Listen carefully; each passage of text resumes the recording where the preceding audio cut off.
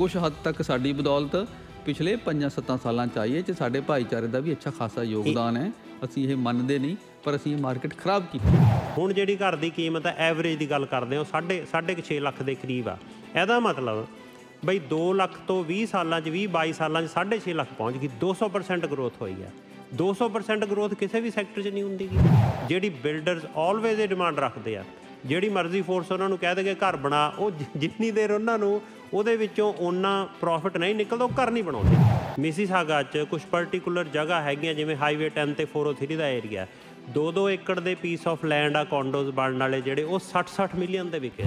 Jobs ਕਰਨ ਵਾਲੇ ਨੇ ਜਿਨ੍ਹਾਂ ਦੀ ਜਿਹੜੀ ਇਨਕਮ ਦੀ ਇੱਕ ਲਿਮਟ ਹੈ ਤੇ ਅੱਜ ਦੀਆਂ ਪ੍ਰਾਈਸਿਸ ਨਾਲ ਤਾਂ ਮੈਚ ਹੀ ਨਹੀਂ ਕਰਦੀ ਉਹ ਕੁਆਲੀਫਾਈ ਨਹੀਂ ਕਰ ਸਕਦੇ। ਭਾਵੇਂ ਉਹ ਟੌਪ ਬ੍ਰੈਕਟ ਹੋਣ। ਹਾਂਜੀ। ਤੇ ਫਿਰ ਰਸਤਾ ਤੇ ਇਹੀ ਲੱਗਦਾ ਹੁਣ ਕਿ ਵੀ ਫਿਰ ਉਸ ਤਰ੍ਹਾਂ ਦੇ ਲੋਕ ਤਾਂ ਸਿਵਾ ਇਸ ਦੇ ਕਿ ਉਹ ਜੀਟੀਏ ਤੋਂ ਬਾਹਰ ਜਾਣ। ਉਹਨਾਂ ਲਈ ਤਾਂ ਇੱਥੇ ਕੋਈ ਰਸਤਾ ਨਹੀਂ।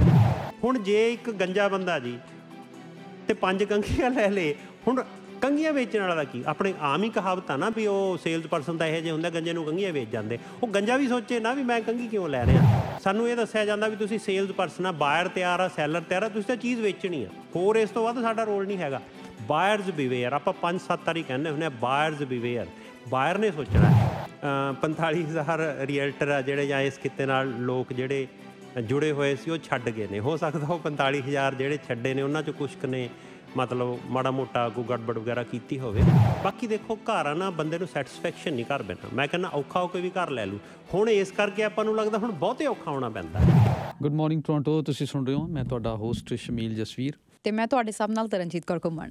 ਤੇ ਤਰਨਜੀਤ ਆਪਣਾ ਅੱਜ ਇੱਕ ਰਿਪੋਰਟ ਮੈਂ ਪੜ੍ਹ ਰਿਹਾ ਸੀ ਕਿ ਜਿਹੜੀ ਪਹਿਲੇ ਕੁਆਟਰ ਚ ਕੌਂਡੋ ਸੇਲ ਹੂੰ ਹੂੰ। ਹਿਸਟੋਰੀਕਲੀ ਲੋਕ ਕਹਿ ਸਕਦੇ ਆ ਮਤਲਬ ਇੰਨੀ ਘਟ ਗਈ ਹੈ। ਸੋ ਇਸ ਕਰਕੇ ਸਾਡਾ ਹਾਊਸਿੰਗ 'ਚ ਇਸ ਵੇਲੇ ਕੀ ਟ੍ਰੈਂਡ ਚੱਲਦੇ ਨੇ ਬੜੇ ਇੰਪੋਰਟੈਂਟ ਨੇ ਸਾਡੇ ਸਾਰਿਆਂ ਵਾਸਤੇ। ਤੇ ਇਸ ਬਾਰੇ ਹੁਣ ਅੱਜ ਅਸੀਂ ਗੱਲਬਾਤ ਕਰਾਂਗੇ ਤੇ ਅਸੀਂ ਬੇਨਤੀ ਕੀਤੀ ਹੈ ਸਾਡੀ ਬੇਨਤੀ ਤੇ ਚਰਨਜੀਤ ਬਰਾੜ ਜੀ ਸਾਡੇ ਨਾਲ ਨੇ ਸਟੂਡੀਓ 'ਚ। ਸਤਿ ਸ਼੍ਰੀ ਅਕਾਲ ਜੀ ਸਰੋਤਿਆਂ ਨੂੰ ਤੇ ਤੁਹਾਡਾ ਬਹੁਤ ਬਹੁਤ ਧੰਨਵਾਦ ਜੀ ਸ਼ਮੀਲ ਜੀ। ਅ, ਗੱਲ ਅਸੀਂ ਹਾਊਸਿੰਗ ਦੀ ਜਦੋਂ ਕਰਦੇ ਹਾਂ ਹਾਊਸਿੰਗ ਮਾਰਕੀਟ ਜਿਹੜੇ ਟ੍ਰੈਂਡਸ ਨੇ, ਉਹਨਾਂ 'ਚ ਸਾਡੀ ਲਗਾਤਾਰ ਦਿਲਚਸਪੀ ਰਹਿੰਦੀ ਹੈ। ਤੇ ਕਿਸ ਪਾਸੇ ਨੂੰ ਮਾਰਕੀਟ ਜਾ ਰਹੀ ਹੈ? ਕੌਣ ਲੋਕ ਨੇ ਜਿਹੜੇ ਇਸ ਵੇਲੇ ਖਰੀਦ ਰਹੇ ਨੇ, ਨਹੀਂ ਖਰੀਦ ਰਹੇ? ਕਿਸ ਤਰ੍ਹਾਂ ਦੇ ਘਰ ਵਿਕ ਰਹੇ ਨੇ? ਇਹ ਸਾਰੇ ਸਵਾਲ ਨੇ ਜਿਹੜੇ ਜਿਨ੍ਹਾਂ ਬਾਰੇ ਅਪਡੇਟਡ ਰੱਖਣਾ ਆਪਣੇ ਆਪ ਨੂੰ ਹਰ ਕਿਸੇ ਲਈ ਜ਼ਰੂਰੀ ਹੈ। ਤੇ ਤੁਸੀਂ ਬਰਾੜ ਸਾਹਿਬ ਇਸ ਸੈਕਟਰ 'ਚੋਂ, ਤੁਸੀਂ ਇਹੀ ਇਹੀ ਕੰਮ ਕਰਦੇ ਹੋ ਰੋਜ਼, ਤੁਸੀਂ ਘਰ ਵੇਚਦੇ ਹੋ। ਤੇ ਤੁਸੀਂ ਲਗਾਤਾਰ ਦੇਖਦੇ ਹੋ ਕਿ ਚੱਲ ਕੀ ਰਿਹਾ। ਇਸ ਵੇਲੇ ਜਿਹੜਾ ਡੋਮੀਨੇਟਿੰਗ ਟ੍ਰੈਂਡ ਹੈ, ਜਿਹੜੇ ਘਰ ਵਿਕ ਰਹੇ ਨੇ, ਕਈ ਵਾਰ ਅਸੀਂ ਇਹ ਵੀ ਸੁਣਦੇ ਹਾਂ ਕਿ ਜੀ ਬਿਡਿੰਗ ਚੱਲ ਰਹੀ ਹੈ ਮਲਟੀਪਲ ਆਫਰਸ ਆ ਰਹੀਆਂ ਨੇ। ਇਸ ਵੇਲੇ ਜੋ ਚੱਲ ਰਹੀ ਮਾਰਕੀਟ ਉਹਨੂੰ ਕੌਣ ਡਰਾਈਵ ਕਰ ਰਿਹਾ, ਕੌਣ ਲੋਕ ਨੇ?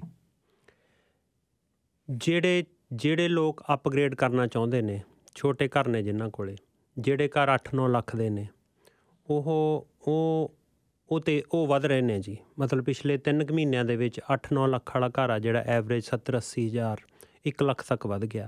ਕਿਉਂਕਿ ਉਹਨਾਂ ਕੋਲ ਆਲਰੇਡੀ ਐਸੈਟਸ ਨੇ ਉਹਨਾਂ ਕੋਲ ਆਲਰੇਡੀ ਪ੍ਰਾਪਰਟੀ ਹੈਗੀ ਆ ਤੇ ਉਹ ਪ੍ਰਾਪਰਟੀ ਉਹਨਾਂ ਨੂੰ ਛੋਟੀ ਲੱਗ ਰਹੀ ਹੈ ਇਸ ਕਰਕੇ ਉਹ ਖਰੀਦ ਰਹੇ ਨੇ। ਸੋ ਜ਼ਿਆਦਾਤਰ ਜਿਹੜੇ ਬਾਇਰ ਨੇ ਉਹੀ ਨੇ ਕਿ। ਜਿਨ੍ਹਾਂ ਨੇ ਆਪਣਾ ਪਹਿਲਾ ਘਰ ਵੇਚਿਆ ਤੇ ਹੁਣ ਉਹ ਕਿਸੇ ਥੋੜੇ ਜਿਹੇ ਪਹਿਲਾਂ ਨਾਲੋਂ ਵੱਡੇ ਜਾਣਾ ਚਾਹੁੰਦੇ ਹਾਂਜੀ। ਜਾਂ ਜਿਹੜੇ 2-3 ਸਾਲ 4 ਸਾਲ ਤੋਂ ਇੱਥੇ ਆਏ ਹੋਏ ਨੇ ਆਲਰੇਡੀ ਰੈਂਟ ਤੇ ਰਹਿ ਕੇ ਅੱਕ ਗਏ ਨੇ ਬੇਸਮੈਂਟਸ ਦੇ ਵਿੱਚ ਨੇ, ਮੌਸਮ ਬਦਲ ਰਿਹਾ, ਉਹ ਖਰੀਦ ਰਹੇ ਨੇ। ਜਿਹੜੇ ਵੱਡੇ ਘਰ ਨੇ, ਵੱਡੇ ਮੀਨਸ 2.5 ਮਿਲੀਅਨ ਵਾਲੇ 2 ਮਿਲੀਅਨ ਵਾਲੇ, ਉਹ ਉਹ, ਉਹਨਾਂ ਦੇ ਵਿੱਚ ਤੇਜ਼ੀ ਨਹੀਂ ਹੈਗੀ। ਵੈਸੇ ਉਹ ਵੀ ਉਹੀ ਲੈ ਰਹੇ ਨੇ ਜ਼ਿਆਦਾ, ਜਿਨ੍ਹਾਂ ਨੇ ਆਪਣਾ ਕੋਈ 2500 3000 ਸਕੁਅਰ ਫੁੱਟ ਦਾ ਘਰ ਵੇਚਿਆ ਪੁਰਾਣਾ ਉਹਨਾਂ ਕੋਲ ਆਲਰੇਡੀ 14 15 ਲੱਖ ਦੀ 13 ਲੱਖ ਦੀ ਮਾਰਗੇਜ ਹੈਗੀ ਸੀਗੀ, ਉਹਦੇ ਚੋਂ ਕਾਫੀ ਪੋਰਸ਼ਨ ਸੀ ਜਿਹੜਾ ਪੇਡ ਆਫ ਸੀਗਾ, ਉਹ ਫਿਰ 2.5 ਲੱਖ ਪਾ ਕੇ ਹੋਰ ਲੈ ਲੈਣੇ। ਵੈਸੇ ਓਵਰਆਲ ਮਾਰਕੀਟ ਸਲੋ ਆ। ਕੌਂਡੋ ਮਾਰਕੀਟ ਆ ਜਿਹੜੀ, ਉਹ ਇਸ ਕਰਕੇ ਸਲੋ ਆ, ਕਿਉਂਕਿ ਪਿਛਲੇ ਸਮੇਂ ਦੇ ਵਿੱਚ ਕੌਂਡੋ ਮਾਰਕੀਟ ਇੰਨੀ ਜ਼ਿਆਦਾ ਤੇਜ਼ ਸੀ ਤੇ ਕੌਂਡੋ ਮਾਰਕੀਟ ਨੂੰ ਡਰਾਈਵ ਜਿਹੜਾ ਇਨਵੈਸਟਰ ਕਰਦਾ ਸੀ ਇਨਵੈਸਟਰਸ ਕੋਲੇ ਆਲਰੇਡੀ ਕੈਸ਼ ਫਲੋ ਦੀ ਪ੍ਰੋਬਲਮ ਆਈ ਹੋਈ ਹੈ। ਕਈ ਲੋਕਾਂ ਨੇ ਜਿਹਨੂੰ ਪੰਜਾਬੀ 'ਚ ਕਹਿੰਦੇ ਅੱਡੀਆਂ ਚੱਕ ਕੇ ਫਾਹਾ ਲਿਆ ਹੋਇਆ ਸੀ ਦੋ ਦੋ ਤਿੰਨ ਤਿੰਨ ਪ੍ਰਾਪਰਟੀਆਂ ਬੁੱਕ ਕਰਾਈਆਂ ਹੋਈਆਂ ਸੀ ਉਹਨਾਂ ਨੂੰ ਕੈਸ਼ ਫਲੋ ਦੀ ਪ੍ਰੋਬਲਮ ਆਈ ਹੋਈ ਹੈ। ਤੇ ਦੂਸਰੀ ਗੱਲ ਕੌਂਡੋ ਮਾਰਕੀਟ ਦੇ ਵਿੱਚ ਅਨਸਰਟਨਟੀ ਇਸ ਕਰਕੇ ਆ ਵੀ ਇਹ ਭਰੋਸਾ ਨਹੀਂ ਹੈਗਾ ਕਿ ਬਿਲਡਰ ਅੱਜ ਜਿਹੜੀ ਚੀਜ਼ 9 ਲੱਖ ਦੀ ਦੇ ਰਿਹਾ ਤੇ ਉਹ ਮਹੀਨੇ ਬਾਅਦ ਉਹ 8 ਲੱਖ ਦੀ ਕਰ ਦੇ। ਤੇ ਉਹਦੇ ਤੇ ਮਤਲਬ ਰੀਅਲ ਸਟੇਟ ਦਾ ਕਮਿਸ਼ਨ ਵੀ ਉਹ ਵਧਾ ਕੇ ਤੇ ਇਨਸੈਂਟਿਵਸ ਵੀ ਵਧਾ ਕੇ ਤੇ ਉਹ ਵੇਚਣ ਲੱਗ ਜੇ ਤੇ ਫਿਰ ਕਲਾਇੰਟ ਨੂੰ ਲੱਗਦਾ ਕਿ ਮੇਰੇ ਦੋਸਤ ਨੇ ਤਾਂ ਇਹ 8 ਲੱਖ ਦੀ ਲੈ ਲਈ ਤੇ ਮੈਂ 9 ਲੱਖ ਦੀ ਕਿਉਂ ਲਈ? ਇਸ ਕਰਕੇ ਉਹਦੇ ਚ ਅਨਸਰਟਨਟੀ ਆ ਥੋੜੀ ਜਿਹੀ। ਦੇਖੋ ਹੁਣ ਅਰਬਨਾਈਜੇਸ਼ਨ ਦੀ ਇੱਕ ਰਿਪੋਰਟ ਹੈ। ਬੜੀ ਇਹ ਵੈਸੇ ਹੈਰਾਨੀਜਨਕ ਹੈ ਕਿ ਟੋਟਲ ਜਿਹੜੇ ਪਹਿਲੇ ਕੁਆਟਰ ਚ ਪੂਰਾ ਜੀਟੀਏ ਪਲੱਸ ਹੈਮਿਲਟਨ ਏਰੀਆ ਸਾਰੇ ਚ ਮਿਲਾ ਕੇ 1461 ਕੌਂਡੋਜ਼ ਵਿਕੇ ਨੇ। ਹਾਂਜੀ। ਇਸ ਤੋਂ ਲੋਐਸਟ ਜਿਹੜਾ ਇਸ ਤੋਂ ਜਿਹੜਾ ਘੱਟ ਨੰਬਰ ਹੈ ਪਿਛਲੇ ਟਾਈਮ 'ਚ ਦੇਖੀਏ ਤੇ ਉਹ 2009 ਦਾ ਰੈਸੈਸ਼ਨ ਦੇ ਦੌਰ ਦਾ। ਹਾਂਜੀ। ਉਸ ਸਾਲ ਅ, 884 ਵਿਕੇ ਸੀ। ਉਹ ਰੈਸੈਸ਼ਨ ਸੀ ਉਦੋਂ। ਬਿਲਕੁਲ। ਤੇ ਹੁਣ ਇਹ ਪੂਰੇ ਜੀਟੀਏ 'ਚ ਤੇ ਨਾਲ ਲੱਗਦੇ ਹੈਮਿਲਟਨ ਨੂੰ ਮਿਲਾ ਕੇ 1461 ਜੇ ਵਿਕਣੇ ਬਹੁਤ ਸਾਰੇ ਪ੍ਰੋਜੈਕਟ ਤੇ ਉਹਨਾਂ ਨੇ ਰੋਕ ਦਿੱਤੇ ਨੇ ਬਿਲਡਰਸ ਨੇ। ਬਿਲਕੁਲ। ਇਹੋ ਜਿਹੀਆਂ ਵੀ ਰਿਪੋਰਟਸ ਨੇ। ਹਾਂਜੀ। ਬਹੁਤ ਸਾਰੇ ਰੀਜ਼ਨਸ ਨੇ ਜੀ। ਪਰ ਪਰ ਇਹਦੇ ਤੋਂ ਕਈ ਤਰ੍ਹਾਂ ਦੇ ਕਨਕਲੂਜਨ ਨਿਕਲਦੇ ਨੇ। ਬਿਲਡਰਸ ਨੇ ਪ੍ਰੋਜੈਕਟ ਜਿਹੜੇ ਰੋਕੇ ਨੇ ਜਾਂ ਰੁਕ ਗਏ ਨੇ, ਉਹਦੇ ਕਈ ਕਾਰਨ ਨੇ। ਤੇ ਓਵਰਆਲ ਜਿਹੜਾ ਸਿਨੈਰੀਓ ਆ, ਇਹਦੇ ਵਿੱਚੋਂ ਜੇ ਆਪਾਂ ਇਹ ਅੰਦਾਜ਼ਾ ਲਾ ਲਈਏ ਵੀ ਰੀਅਲ ਏਸਟੇਟ ਥੱਲੇ ਜਾਊਗੀ, ਉਹ ਵੀ ਮੇਰਾ ਖਿਆਲ ਸ਼ਾਇਦ ਠੀਕ ਨਾ ਹੋਵੇ। ਤੇ ਜੇ ਇਹ ਅੰਦਾਜ਼ਾ ਲਾ ਲਈਏ ਵੀ ਰੀਅਲ ਸਟੇਟ ਉੱਪਰ ਜਾਊਗੀ, ਉਹ ਵੀ ਸ਼ਾਇਦ ਠੀਕ ਨਾ ਹੋਵੇ, ਕਿਉਂਕਿ ਇਹਨ- ਇਹਨੂੰ ਇਹਨੂੰ ਕਈ ਫੈਕਟਰਸ ਡਰਾਈਵ ਕਰਦੇ ਨੇ। ਹੁਣ ਬਿਲਡਰਸ ਨੇ ਜਿਹੜੇ ਪ੍ਰੋਜੈਕਟ ਰੋਕੇ ਨੇ ਕਈ ਵਾਰੀ ਉਹਦੀ ਫਾਈਨੈਂਸ਼ੀਅਲ ਇੰਪਲੀਕੇਸ਼ਨਸ ਹੁੰਦੀਆਂ ਵੀ ਬਿਲਡਰ ਬਣਾਉਣਾ ਚਾਹੁੰਦਾ ਹੁੰਦਾ ਲੈਂਡਰ ਉਹਨੂੰ ਲੈਂਡ ਨਹੀਂ ਕਰਦਾ। ਫੋਰ ਐਗਜ਼ਾਮਪਲ ਜਿਹੜੇ ਬਿਲਡਰਸ ਨੇ ਪ੍ਰੋਜੈਕਟ ਪਹਿਲਾਂ ਵੇਚੇ ਹੋਏ ਨੇ ਲੈਂਡਰਸ ਨੂੰ ਲੱਗਦਾ ਹੈ ਬਈ ਇਹ, ਇਹਦੇ 80% ਯੂਨਿਟ ਵਿਕੇ ਹੋਏ ਨੇ ਸਪੋਜ਼ ਲੈਂਡਰ ਸੋਚਦਾ ਵੀ ਜਦੋਂ ਇਹ ਬਣ ਕੇ ਤਿਆਰ ਹੋ ਗਿਆ 6-7 ਮਹੀਨਿਆਂ ਚ, ਸਾਲ 2 ਸਾਲ ਦੇ ਵਿੱਚ, ਹੋ ਸਕਦਾ ਹੈ ਕਿ ਇਹ 80% ਦੇ ਵਿੱਚੋਂ 50% ਲੋਕ ক্লোਜ਼ ਹੀ ਨਾ ਕਰਾਉਣ ਕਰਾਉਣ, ਕਿਉਂਕਿ ਉਹ ਇਹਨੇ ਇਨੇਬਿਲਿਟੀ ਆ ਉਹਨਾਂ ਦੀ, ਉਹਨਾਂ ਨੂੰ ਮਾਰਗੇਜ ਨਹੀਂ ਮਿਲਣੀ। ਬਿਲਡਰ ਵੀ ਇਹੀ ਚਾਹੁੰਦਾ। ਤੇ ਲ- ਦੂਸਰੀ ਗੱਲ, ਜਿਹੜੀ ਪ੍ਰਾਈਸ ਤੇ ਉਹ ਵੇਚੇ ਹੋਏ ਨੇ, ਉਹ ਪ੍ਰਾਈਸ ਤੁਸੀਂ ਆਪ ਹੀ ਦੱਸਿਆ, ਉਹ ਪ੍ਰਾਈਸ ਆਪਾਂ ਇਹੀ ਡਿਸਕਸ ਕਰ ਰਹੇ ਹਾਂ, ਉਹ ਕੀਮਤਾਂ ਘਟ ਗਈਆਂ ਨੇ। ਤੇ ਲੈਂਡਰ ਨੂੰ ਲੱਗਦਾ ਕਿ ਮੇਰੇ ਉਹ ਪੈਸੇ ਹੋ ਸਕਦਾ ਰਿਕਵਰੀ ਨਹੀਂ ਹੋਣੇ। ਇੱਕ ਤਰੀਕੇ ਨਾਲ ਬਿਲਡਰ ਆਪ ਵੀ ਫਸੇ ਹੋਏ ਨੇ। ਇਸ ਕਰਕੇ ਪ੍ਰੋਜੈਕਟ ਡਿਲੇ ਹੋ ਰਹੇ ਨੇ। ਦੂਸਰੇ ਪਾਸੇ, ਇੱਕ ਇਹਦਾ ਰੀਜ਼ਨ ਇਹ ਵੀ ਹੈਗਾ ਕਿ ਬਹੁਤ ਥਾਵਾਂ ਤੇ ਸਰਕਾਰ ਨੇ ਇਨਸੈਂਟਿਵ ਦਿੱਤੇ ਨੇ।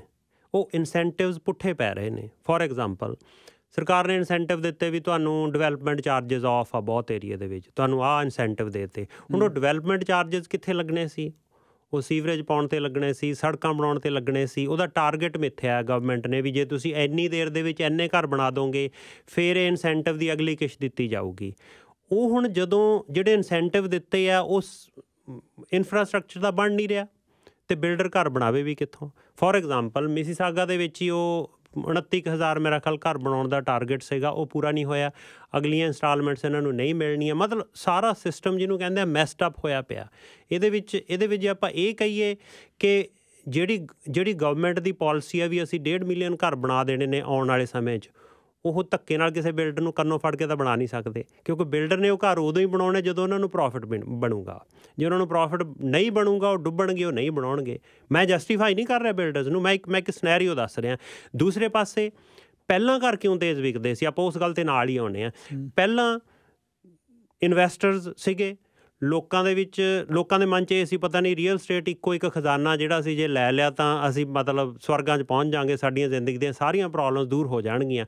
ਲੋਕਾਂ 'ਚ ਭੱਜ ਦੌੜ ਸੀ ਕਿਉਰੀਓਸਿਟੀ ਸੀ ਫਟਾਫਟ ਲੈ ਲਈਏ ਲਾਈਨਾਂ ਚਲਾ ਕੇ ਲੈਂਦੇ ਸੀ।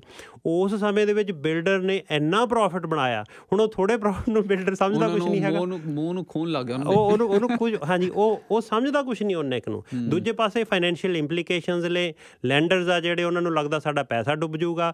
ਤੇ ਬਿਲਡਰਸ ਦੀ ਇੰਟੈਂਸ਼ਨ ਹੁੰਦੀ ਆ ਵੀ ਉਹ ਪ੍ਰੋਜੈਕਟ ਨੂੰ ਡਿਲੇ ਕਰੀ ਜਾਣਗੇ। ਸਰਕਾਰ ਕੁਝ ਨਹੀਂ ਕਰ ਸਕਦੀ ਇਹਦੇ ਵਿੱਚ। ਸਰਕਾਰ ਕਹਿ ਸਰਕਾਰ ਇਨਸੈਂਟਿਵ ਦੇ ਦੇ ਸਕਦੀ ਹੈ ਇਨਸੈਂਟਿਵ ਦਿੱਤੇ ਹੋਏ ਮੈਂ ਜਿਵੇਂ ਦੱਸਿਆ ਵੀ ਪੁੱਠੇ ਪੈ ਸਕਦੇ ਨੇ। ਦੇਖੋ ਇਸ ਜਿਹੜੀਆਂ ਤਰੀਕੇ ਦੁਨੀਆ ਦੇ ਦੀਆਂ। ਹੋਰ ਸਰਕਾਰਾਂ ਨੇ ਜਿਹੜੀਆਂ ਸਖਤ ਸਰਕਾਰਾਂ ਨੇ ਉੱਥੇ ਡੰਡਾ ਖੜਕਾ ਦਿੰਦੀਆਂ ਇਹ ਜਿਹੇ ਬਿਲਕੁਲ ਮੌਕੇ। ਬਿਲਕੁਲ ਬਿਲਕੁਲ। ਇੱਥੇ ਪਰ ਹਰ ਕਿਸੇ ਨੂੰ ਸਿਰ ਚੜਾਇਆ ਹੋਇਆ ਕਿਉਂਕਿ ਇੱਥੇ ਸਰਕਾਰ ਇਹ ਚਾਹੁੰਦੀ ਹੈ ਵੀ ਜੇ ਅਸੀਂ ਕੁਝ ਵੀ ਨਾ ਕਰੀਏ ਤਾਂ ਹੀ ਅਸੀਂ ਚੰਗੀ ਸਰਕਾਰ ਹੋਣਾ। ਸਾਰੇ ਸਾਰਾ ਕੁਝ ਇੱਕ ਦੂਜੇ ਦੇ ਨਾਲ ਜੁੜਿਆ ਹੋਇਆ। ਇਹ ਇਹਦੇ ਵਿੱਚੋਂ ਜੇ ਆਪਾਂ ਇੱਕ ਚੀਜ਼ ਨੂੰ ਆਪਾਂ ਬਾਹਰ ਕਰ ਦਈਏ ਸਾਰਾ ਸਿਸਟਮ ਆ ਜਿਹੜਾ ਕੋਲੈਪਸ ਕਰ ਜਾਂਦਾ। ਦੂਸਰੇ ਪਾਸੇ ਹੁਣ ਇਹ ਇਹ ਮਾਰਕੀਟ ਇੱਕ ਮੈਂ ਅਕਸਰ ਗੱਲ ਕਰਦਾ ਹਾਂ ਨਾ ਵੀ ਇੱਕ ਲੈਵਲ ਤੋਂ ਥੱਲੇ ਫੇਰ ਵੀ ਨਹੀਂ ਜਾ ਸਕਦੀ। ਉਹਦੇ ਰੀਜ਼ਨ ਹੈ ਉਹਨੂੰ ਡਾਟਾ ਜਿਹੜਾ ਉਹ ਸਪੋਰਟ ਕਰਦਾ। ਤੁਸੀਂ 2000 ਦੇ ਵਿੱਚ 2000 ਦੇ ਵਿੱਚ ਘਰ ਦੀ ਕੀਮਤ ਲਓ, ਪੌਣੇ 2 ਲੱਖ ਸੀ। ਫਿਰ ਤੁਸੀਂ 2010 ਚ ਲਓ। ਹੁਣ ਜਿਹੜੀ ਘਰ ਦੀ ਕੀਮਤ ਹੈ ਐਵਰੇਜ ਦੀ ਗੱਲ ਕਰਦੇ ਹਾਂ, ਸਾਢੇ ਸਾਢੇ ਕੁ 6 ਲੱਖ ਦੇ ਕਰੀਬ ਆ। ਇਹਦਾ ਮਤਲਬ ਬਈ 2 ਲੱਖ ਤੋਂ 20 ਸਾਲਾਂ 'ਚ 20 22 ਸਾਲਾਂ 'ਚ 6.5 ਲੱਖ ਪਹੁੰਚ ਗਈ 200% ਗਰੋਥ ਹੋਈ ਆ। 200% ਗਰੋਥ ਕਿਸੇ ਵੀ ਸੈਕਟਰ 'ਚ ਨਹੀਂ ਹੁੰਦੀਗੀ ਦੂਸਰੀ ਗੱਲ ਇਹ ਆ ਡਾਟਾ ਇਹ ਸਪੋਰਟ ਕਰਦਾ ਬਈ ਜਿਹੜੀ ਜਿਹੜੀ ਰੀਅਲ ਸਟੇਟ ਆ ਨਾ, ਉਹ ਜੀਡੀਪੀ ਦਾ ਬਹੁਤ ਵੱਡਾ ਹਿੱਸਾ, ਕਈ ਵਾਰ ਅਸੀਂ ਉਹਨੂੰ ਛੋਟਾ ਹਿੱਸਾ ਕਰਕੇ ਦੇਖ ਲਿਆ, ਉਹਦੇ ਨਾਲ ਐਸੋਸੀਏਟਡ ਸੈਕਟਰਸ ਐਂਡੇ ਨੇ ਬਈ ਜੇ ਰੀਅਲ ਸਟੇਟ ਸਲੋ ਹੁੰਦੀ ਆ ਬਾਕੀ ਸਾਰੇ ਉਹਨਾਂ ਦਾ ਸਾਹ ਘਟਿਆ ਜਾਂਦਾ। ਖਤਰਨਾਕ ਖਤਰਨਾਕ। ਜੀਡੀਪੀ ਦਾ ਐਡਾ ਵੱਡਾ ਹਿੱਸਾ ਹੋਣਾ ਖਤਰਨਾਕ ਹੈ। ਮੈਸਡ ਅਪ ਹਾਂਜੀ ਇਸ ਨੂੰ ਕੰਟਰੋਲ ਕਰਨਾ ਚਾਹੀਦਾ। ਐਗਜ਼ੈਕਟਲੀ ਉਹ ਕੰਟਰੋਲ ਹੋ ਨਹੀਂ ਰਿਹਾ। ਉਹ ਕੰਟਰੋਲ ਹੋ ਨਹੀਂ ਰਿਹਾ। ਪ੍ਰੋਬਲਮ ਇਹ ਹੈਗੀ ਆ। ਮਤਲਬ ਅ, ਕਈ ਵਾਰੀ ਸਿੰਪਟਮ ਸਾਨੂੰ ਦੱਸਦੇ ਹੁੰਦੇ ਨੇ ਵੀ ਅਸੀਂ ਗਲਤ ਪਾਸੇ ਜਾ ਰਹੇ ਹਾਂ। ਪਰ ਜਿਹੜੀ ਪਿੱਛੋਂ ਡਰਾਈਵਿੰਗ ਫੋਰਸ ਆ ਉਹ ਅਸੀਂ ਰੋਕ ਨਹੀਂ ਸਕਦੇ। ਉਸ ਰਸਤੇ ਦੇ ਉੱਤੇ ਤੁਰਨਾ ਪੈਂਦਾ। ਉਹ ਸਰਕਾਰ ਵੀ ਸਿਸਟਮ ਵੀ ਉਸ ਰਸਤੇ ਤੇ। ਤੁਰ ਰਹੀ ਆ। ਇਸ ਤੋਂ ਅਗਲੀ ਗੱਲ। ਬਈ ਜਿਹੜੀ ਜਿਹੜੀ ਰੀਅਲ ਸਟੇਟ ਆ ਨਾ, ਮੇਰੀ ਗੱਲ ਹੋ ਸਕਦਾ ਚੰਗੀ ਨਾ ਲੱਗੇ ਕਿਸੇ ਨੂੰ, ਪਰ ਪਰ ਪਰ ਇਹ ਰੀਅਲ ਸਮੱਸਿਆ ਹੈਗੀ ਆ। ਦੇਖੋ 66% ਲੋਕ ਨੇ ਜਿਨ੍ਹਾਂ ਕੋਲੇ ਘਰ ਆ, ਇੱਕ ਘਰ ਆ, ਜਿਨ੍ਹਾਂ ਕੋਲੇ ਘਰ ਆ। ਉਹਦੇ ਵਿੱਚੋਂ 15-16% ਲੋਕ ਨੇ ਜਿਨ੍ਹਾਂ ਕੋਲੇ ਇੱਕ ਤੋਂ ਜ਼ਿਆਦਾ ਘਰ ਨੇ, ਦੋ ਘਰ ਨੇ। ਉਹਦੇ ਵਿੱਚੋਂ ਬਹੁਤ ਥੋੜੇ ਨੇ ਜਿਨ੍ਹਾਂ ਕੋਲੇ 4-4 5-5 ਘਰ ਨੇ। ਹੁਣ ਜਿਹੜਾ ਕੁਝ ਹੁਣ ਚੱਲ ਰਿਹਾ ਹੈ ਮਾਰਗੇਜ ਇੰਟਰਸਟ ਰੇਟ ਵਧੇ ਆ, ਇੱਕ ਇੱਕ ਬੰਦਾ ਜਿਹੜਾ 6 ਲੱਖ ਮਾਰਗੇਜ ਦਿੰਦਾ, ਉਹ 45 50 ਹਜ਼ਾਰ ਉਹ ਕਿਸ਼ਤ ਦੇ ਦਿੰਦਾ ਆਪਣੀ ਸਾਲ ਦੇ ਵਿੱਚ, ਜਿਹਦੇ ਚੋਂ ਉਹਦਾ ਜੇ 50 ਹਜ਼ਾਰ ਕਿਸ਼ਤ ਦਿੰਦਾ ਤਾਂ ਉਹਦਾ ਪ੍ਰਿੰਸੀਪਲ ਆ ਜਿਹੜਾ 500 ਵੀ ਨਹੀਂ ਮੁੜਦਾ ਤੇ ਉਹ 49500 ਇੰਟਰਸਟ ਮੁੜਦਾ। 16% 15% ਬੰਦੇ ਜਿਨ੍ਹਾਂ ਕੋਲ ਦੋ ਦੋ ਘਰ ਨੇ ਜਾਂ ਉਸ ਤੋਂ ਵੱਧ, ਉਹਨਾਂ ਨੂੰ ਖੁਸ਼ ਕਰਨ ਲਈ ਇੰਟਰਸਟ ਰੇਟ ਪਹਿਲਾਂ ਡਾਊਨ ਕੀਤੇ ਗਏ। ਉਹਨਾਂ ਨੇ ਤਾਂ ਆਪਣੇ ਆਪ ਨੂੰ ਮੈਨੇਜ ਕਰ ਲਿਆ ਕਿਉਂਕਿ ਉਹ ਉਹਨਾਂ ਕੋਲੇ ਸਕਿੱਲ ਹੈਗੇ ਨੇ ਜਾਂ ਉਹਨਾਂ ਕੋਲ ਕਲੇਵਰ ਨੇ ਚਲਾਕ ਨੇ ਚੁਸਤ ਨੇ। ਖੂਜ ਸਿੱਟਤਾ ਜਿਹੜੇ 49% ਜਿਹੜੇ ਓਨਰ ਨੇ ਜਿਨ੍ਹਾਂ ਦੀ ਗਲਤੀ ਹੋਈ ਕੋਈ ਨਹੀਂ ਸੀਗੀ। ਮਤਲਬ ਜਿਨ੍ਹਾਂ ਕੋਲ ਇੱਕ ਘਰ ਆ। ਇੱਕ ਘਰ ਦੇ ਵਿੱਚੋਂ ਉਹ ਆਪਾਂ ਕਿਸ ਦਿੰਨੇ ਆ ਘਰ ਦੀ 5000 ਪਹਿਲਾਂ ਦਿੰਦੇ ਸੀ 5 ਸਾਲ ਪਹਿਲਾਂ, ਉਹਦੇ ਚੋਂ 24 2500 ਪ੍ਰਿੰਸੀਪਲ ਜਾਂਦਾ ਸੀ 24 2500 ਇੰਟਰਸਟ ਜਾਂਦਾ ਸੀ, ਘਰ ਪੇ ਆਫ ਹੋ ਜਾਂਦਾ ਸੀ 24 25 ਸਾਲਾਂ ਦੇ ਵਿੱਚ। ਹੁਣ ਉਹ ਪੈਸਾ ਉਹਨਾਂ ਦੀਆਂ ਜੇਬਾਂ ਚੋਂ ਨਿਕਲ ਕੇ ਕਿਸੇ ਹੋਰ ਹੀ ਪਾਸੇ ਜਾ ਰਿਹਾ। ਮਤਲਬ ਇਹ ਸਾਰਾ ਸਿਸਟਮ ਮੈਸਡ ਅਪ ਆ ਜੀ। ਸਾਰਾ ਸਿਸਟਮ ਖਰਾਬ ਹੈ ਜੀ। ਪਰ ਜਿਹੜੇ ਹੁਣ ਆਪਾਂ ਚਲੋ ਗੱਲ ਕਰ ਰਹੇ ਸੀ, ਪਹਿਲਾਂ ਜਿਹੜਾ ਮਾਰਕੀਟ ਚੱਲ ਰਹੀ ਹੈ ਉਹ ਕੀ ਹੈ ਜਿਹੜੇ ਤੁਸੀਂ ਦੱਸ ਰਹੇ ਸੀ ਵੀ ਵੱਡਾ ਹਿੱਸਾ ਤਾਂ ਉਹ ਹੈ ਜਿਹੜੇ ਬੇਸਿਕਲੀ ਪਹਿਲਾਂ ਕੋਈ ਪ੍ਰਾਪਰਟੀ ਵੇਚ ਕੇ ਦੂਜੀ ਪ੍ਰਾਪਰਟੀ ਮਤਲਬ ਆਪਣੇ ਅਪਗ੍ਰੇਡ ਕਰ ਰਹੇ ਨੇ ਵੱਡਾ ਘਰ ਲੈ ਰਹੇ ਨੇ। ਉਹ ਉਹ ਜ਼ਿਆਦਾ ਇਸ ਵੇਲੇ ਆਫਰਾਂ ਪਾਉਣ ਵਾਲੇ ਨੇ। ਹਾਂਜੀ। ਇਹਦੇ 'ਚ ਥੋੜਾ ਬਹੁਤ ਫਸਟ ਟਾਈਮ ਹੋਮ ਬਾਇਰ ਵੀ ਹੈ। First time first time home buyer ਵੀ ਹੈਗਾ ਜਿਹੜਾ 4-5 ਸਾਲ ਤੋਂ ਆਇਆ ਹੋਇਆ ਜਿਹਨੇ ਜਿਹਦੇ ਜਿਹੜਾ down ਕਰਦਾ। payment ਲੈ ਕੇ ਆਇਆ ਹਾਂਜੀ। ਹਾਂਜੀ ਕਿਉਂਕਿ ਅੱਜ ਕੱਲ ਜਿਹੜੇ ਇਮੀਗ੍ਰੈਂਟ ਆਉਂਦੇ ਨੇ ਉਹ ਪਹਿਲਾਂ ਵਾਂਗੂ ਨਹੀਂ ਉਹ ਪੈਸੇ ਲੈ ਕੇ ਆਉਂਦੇ ਨੇ। ਗੁੱਡ ਪੇਇੰਗ ਜੌਬਸ ਹੈਗੀਆਂ ਸੈਲਰੀਜ਼ ਚੰਗੀਆਂ ਹੈਗੀਆਂ ਉਹ ਜੋੜ ਲੈਂਦੇ ਨੇ ਪੈਸੇ। ਪਰ ਇਹ ਤਾਂ ਫਿਰ ਇਹ ਤਾਂ ਲਿਮਟਿਡ ਨੰਬਰ ਨੇ। ਲਿਮਟਿਡ ਨੰਬਰ ਨੇ ਤੇ ਜੀ ਇਹ ਤੇ ਫਿਰ ਇੱਕ ਦਿਨ ਜਦੋਂ ਇਹਨਾਂ ਨੇ ਸਾਰਿਆਂ ਨੇ ਘਰ ਲੈ ਲੇ ਫਿਰ ਇੱਕ ਸਟੇਜ ਤੇ ਜਾ ਕੇ ਫਿਰ ਇਹ ਰੌਲਾ ਘਟੇਗਾ ਥੋੜਾ ਜਿਹਾ ਇਸ। ਹਿਸਾਬ ਨਾਲ ਤਾਂ। ਨਹੀਂ ਇਹ ਕਾਫੀ ਵੱਡੀ ਗਿਣਤੀ ਚ ਆ। ਸਰਕਾਰ ਹੀ ਆਪ ਹੀ ਕਹੀ ਜਾਂਦੀ ਅਸੀਂ 1.5 ਮਿਲੀਅਨ ਘਰ ਬਣਾਉਣੇ ਸੀ ਜੀ ਅਸੀਂ ਇੰਨੇ ਘਰ ਬਣਾਉਣੇ ਚਾਹੀਦੇ ਆ ਡਿਮਾਂਡ ਹੈਗੀ ਆ ਆ ਹੈਗਾ। ਦੂਸਰੀ ਇੱਕ ਹੋਰ ਗੱਲ ਆ ਅਗੇਨ ਗਵਰਨਮੈਂਟ ਦੀ ਪਾਲਿਸੀ ਤੇ ਆ ਗਈ। ਜਿਹੜਾ ਕੁਝ ਹੁਣ ਤੁਸੀਂ ਆ ਕੁਝ ਦਿਨਾਂ ਚ ਸੁਣ ਰਹੇ ਹੋ ਫੈਡਰਲ ਗਵਰਨਮੈਂਟ ਵੀ ਇਨਸੈਂਟਿਵ ਦੇ ਰਹੀ ਆ ਹੋ ਰਿਹਾ ਜੀ ਬਿਲਡਰਸ ਨੂੰ ਇਨਸੈਂਟਿਵ ਅਪਾਰਟਮੈਂਟ ਬਿਲਡਿੰਗਾਂ ਬਣਾ ਲਓ ਜੀ ਤੁਸੀਂ ਕਾਫੀ ਕੁਝ ਸੁਣ ਰਹੇ ਹੋ। ਉਹਦੇ ਚ ਬਿਲਡਰਸ ਨੂੰ ਇਨਸੈਂਟਿਵ ਦਿੱਤੇ ਜਾ ਰਹੇ ਆ ਰੈਂਟਲ ਪ੍ਰਾਪਰਟੀਆਂ ਬਣਾਉਣ ਲਈ। ਇੱਕ ਬੰਦੇ ਦੀ ਮਾਨਸਿਕਤਾ ਹੁੰਦੀ ਆ ਜਿਹੜਾ ਆਪਦਾ ਦੇਸ਼ ਛੱਡ ਕੇ ਆ ਗਿਆ ਉਹ ਕਹਿੰਦਾ ਮੈਂ ਰੈਂਟਲ ਪ੍ਰਾਪਰਟੀ 'ਚ 2 ਸਾਲ ਰਹਿ ਪੂ 3 ਸਾਲ ਰਹਿ ਪੂੰਗਾ ਹੈਨਾ ਉਹ ਰੈਂਟ ਤੇ ਜ਼ਿਆਦਾ ਦੇਰ ਨਹੀਂ ਰਹਿੰਦਾ। ਅੱਛਾ, ਉਹ ਉਹ ਬਣਾ ਰਹੇ ਆ ਰੈਂਟਲ ਪ੍ਰਾਪਰਟੀ ਜ਼ਿਆਦਾ। ਅਲਟੀਮੇਟਲੀ 2-3 ਸਾਲਾਂ ਨੂੰ ਕੀ ਹੋਣਾ? ਉਹ ਜਿਹੜੇ ਰੈਂਟਲ ਪ੍ਰਾਪਰਟੀ ਦੇ ਵਿੱਚ ਜਾਣਗੇ, ਉਹਨਾਂ ਨੇ ਫਿਰ ਆਪਣੇ ਘਰ ਖਰੀਦਣੇ ਨੇ। ਦੂਸਰੀ ਗੱਲ, ਬੰਦਾ ਕੰਪੇਅਰ ਕਰਕੇ ਦੇਖਦਾ ਇੰਟਰਸਟ ਰੇਟ ਆ ਜਿਹੜਾ ਇੰਟਰਸਟ ਰੇਟ ਹੁਣ ਤਾਂ ਹੈਗਾ ਉੱਪਰ। ਭਾਵੇਂ ਸਟੇਬਿਲਟੀ ਆਈ ਹੈ, ਪਰ ਹੌਲੀ ਹੌਲੀ ਹੌਲੀ ਹੌਲੀ ਘਟੂਗਾ। ਜਿਹੜਾ ਬੰਦਾ ਰੈਂਟ ਤੇ ਰਹਿੰਦਾ, ਉਹ ਕਹਿੰਦਾ ਵੀ ਮੈਂ 2500 3000 ਰੈਂਟ ਦੇ ਹੀ ਜਾਣਾ ਜਦੋਂ ਇਹ, ਹੁਣ ਤਾਂ ਕਿਸ਼ਤ ਜ਼ਿਆਦਾ ਨਾ ਕਰਦੀ। ਜਦੋਂ ਇਹ ਕਿਸ਼ਤ ਉੱਥੇ ਕਿ ਜੇ ਆ ਗਈ 5-700 ਦਾ ਫ਼ਰਕ ਰਹਿ ਗਿਆ, ਉਹ ਰੈਂਟ ਵਾਲੇ ਫੇਰ ਜਿਹੜੇ ਉਹ ਖਰੀਦਣ ਵੱਲ ਤੁਰ ਪੈਣਗੇ। ਤੇ ਜਿਹੜੀ ਇਹ ਡਿਮਾਂਡ ਜਿਹੜੀ ਬਿਲਡਰਸ ਆਲਵੇਜ਼ ਇਹ ਡਿਮਾਂਡ ਰੱਖਦੇ ਆ, ਜਿਹੜੀ ਮਰਜ਼ੀ ਫੋਰਸ ਉਹਨਾਂ ਨੂੰ ਕਹਿ ਦੇਗੇ ਘਰ ਬਣਾ, ਉਹ ਜਿ- ਜਿੰਨੀ ਦੇਰ ਉਹਨਾਂ ਨੂੰ ਉਹਦੇ ਵਿੱਚੋਂ ਉਹਨਾਂ ਪ੍ਰੋਫਿਟ ਨਹੀਂ ਨਿਕਲਦਾ, ਉਹ ਘਰ ਨਹੀਂ ਬਣਾਉਂਦੇ। ਤੇ ਘਰ ਬਣਾਉਣ ਲਈ ਇਨਫਰਾਸਟ੍ਰਕਚਰ ਹੈ ਨਹੀਂ। ਜਿਹੜੀ ਮੈਂ ਗੱਲ ਪਹਿਲਾਂ ਕੀਤੀ ਆ, ਇਸ ਕਰਕੇ ਇਹ ਗੈਪ ਰਹਿਣਾ ਹੀ ਰਹਿਣਾ, ਇਹ ਗੈਪ ਮੇਨਟੇਨ ਕੀਤਾ ਜਾਂਦਾ ਪ੍ਰੋਪਰਲੀ ਇਸ ਕਰਕੇ ਇਹ ਗੈਪ ਨੂੰ ਮੇਟਿਆ ਨਹੀਂ ਜਾ ਸਕਦਾ ਕੈਨੇਡਾ ਦੇ ਵਿੱਚ। G7 ਕੰਟਰੀ ਦੇ ਵਿੱਚ ਕੈਨੇਡਾ ਹੀ ਇੱਕੋ ਇੱਕ ਦੇਸ਼ ਆ, ਜਿੱਥੇ ਰੀਅਲ ਸਟੇਟ ਦੇ ਵਿੱਚ ਇੰਨਾ ਜੀਡੀਪੀ ਦਾ ਐਡਾ ਵੱਡਾ ਹਿੱਸਾ ਜਾਣੀ। ਇਹ ਫਿਰ ਸਾਡੀਆਂ ਜਿਹੜੀਆਂ ਗਲਤ ਪਾਲਿਸੀਜ਼ ਦਾ ਨਤੀਜਾ ਹੈ ਕਿ ਜਦੋਂ ਸਰਕਾਰ ਕੋਲ ਕੋਈ ਵਿਜ਼ਨ ਹੀ ਨਾ ਹੋਏ ਡਿਵੈਲਪਮੈਂਟ ਦਾ ਤੇ ਗਵਰਨੈਂਸ ਦਾ ਤੇ ਨਿਰਾਪੁਰਾ ਸਿਰਫ ਆਹ ਨਾਟ ਫॉर ਪ੍ਰੋਫਿਟਸ ਟਾਈਪ ਲੋਕ ਆ ਗਏ ਪੋਲਿਟਿਕਸ 'ਚ। ਤੇ ਉਦਾਂ ਦੇ ਫਿਰ ਉਹਨਾਂ ਨੂੰ ਇਕਨੋਮੀ ਦਾ ਕੁਝ ਪਤਾ ਨਹੀਂ ਹੈ ਤੇ ਇਸ ਤਰ੍ਹਾਂ ਦਾ ਮਿਸਮੈਨੇਜ ਹੋਇਆ ਹੋਇਆ ਸਾਰਾ। ਤੁਸੀਂ ਕਹਿ ਸਕਦੇ ਹੋ ਵੈਸੇ ਆਪਾਂ ਇਸ ਤਰ੍ਹਾਂ ਵੀ ਕਹਿ ਸਕਦੇ ਹਾਂ ਵੀ ਗਵਰਨਮੈਂਟਸ ਦੇ ਹੱਥ ਦੇ ਵਿੱਚ ਹੀ ਕੁਝ ਨਹੀਂਗਾ ਗਵਰਨਮੈਂਟਸ ਦਾ ਇੱਕ ਜਿਵੇਂ ਤੁਸੀਂ ਬੈਂਕਟ ਹਾਲ ਚਲਾਉਣਾ ਮੈਨੇਜਰ ਰੱਖ ਲਿਆ ਗਵਰਨਮੈਂਟ ਸਿਰਫ ਮੈਨੇਜ ਕਰਦੀਆਂ ਉਹ ਸਾਰੇ ਪਾਸਿਓਂ ਪੱਲਾ ਝਾੜ ਦਿੰਦੀਆਂ। ਉਹ ਕਹਿੰਦੇ ਜੀ ਬਿਜ਼ਨਸ ਚ ਆਉਣਾ ਸਾਡਾ ਹਾਲਾਂਕਿ ਗਵਰਨਮੈਂਟ ਨੇ ਗਵਰਨ ਕਰਨਾ ਹੁੰਦਾ। ਉਹ ਕਹਿੰਦੇ ਅਸੀਂ ਤਾਂ ਬਸ ਮੈਨੇਜ ਹੀ ਕਰ ਰਹੇ ਹਾਂ ਅਸੀਂ ਗਵਰਨ ਨਹੀਂ ਕਰ ਰਹੇ। ਅਸੀਂ ਡਿਸਾਈਡਿੰਗ ਫੈਕਟਰ ਨਹੀਂ ਅਸੀਂ ਤਾਂ ਬਸ ਆ ਲੋਕਾਂ ਨੂੰ ਘਰ ਘਰ ਬਣਾ ਕੇ ਦੇਣੇ ਆ। ਬਸ ਪ੍ਰਾਈਸ ਕੀ ਆ ਕਿੰਨੀ ਹੋਵੇ ਕਿੰਨੀ ਨਾ ਹੋਵੇ ਉਹਨਾਂ ਨੇ ਗਾਈਡਲਾਈਨਸ ਪਹਿਲਾਂ ਤੈਅ ਕੀਤੀਆਂ ਸੀ।